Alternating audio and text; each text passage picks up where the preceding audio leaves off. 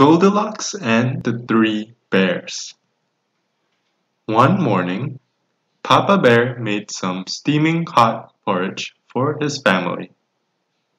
He poured his porridge into a big bowl.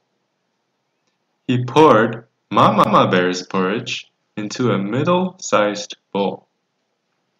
Finally, he poured Baby Bear's porridge into a tiny bowl. While the porch cooled, the three bears went for a walk in the forest. That very same morning, a little girl named Goldilocks had also gone for a walk in the forest. However, Goldilocks lost her way and came upon the bear's cozy cottage. Goldilocks was hungry. She stepped inside the cozy cottage. There, she found the three bowls of porridge. Goldilocks tasted the porridge in the big bowl. Too hot. She tasted the porridge in the middle-sized bowl. Too cold. Then she tasted the porridge in the tiny bowl.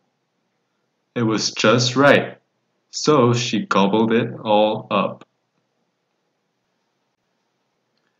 Goldilocks began to feel tired.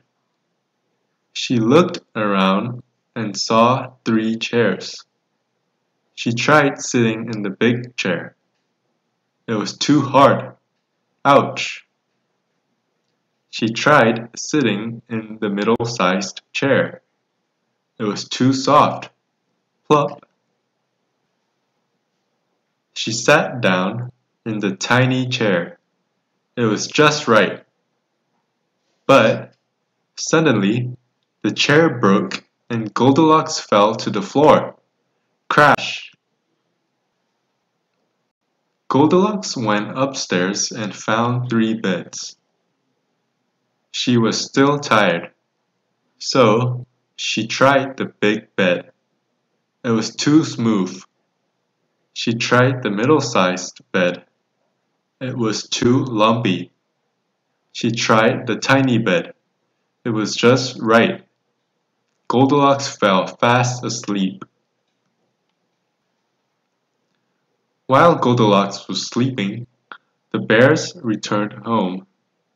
They saw that someone had been eating their porridge they saw that someone had been sitting in their chairs. Baby Bear said, Someone has been sitting in my chair and has broken it all to pieces. The bears went and discovered that someone had been sleeping in their beds. Baby Bear said, Someone has been sleeping in my bed. And here she is. Goldilocks was startled when she woke up and saw the bears. Goldilocks ran out of the cozy cottage as fast as she could. The three bears never saw or heard from her again.